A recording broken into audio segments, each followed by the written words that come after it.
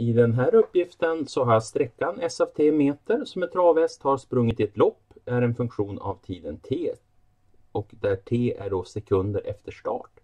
Jag ska förklara vad S'20 betyder och att det är lika med 12. Ja, S' det är ju hur snabbt den här sträckan förändras. Så S' det är då hastigheten. Så den här hästen springer med en hastighet av 12 meter per sekund. När t är lika med 20 och t var ju antalet sekunder efter start.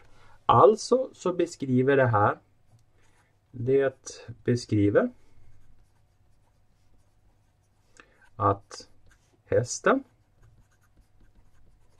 har hastigheten 12 meter per sekund 20 sekunder efter loppets start.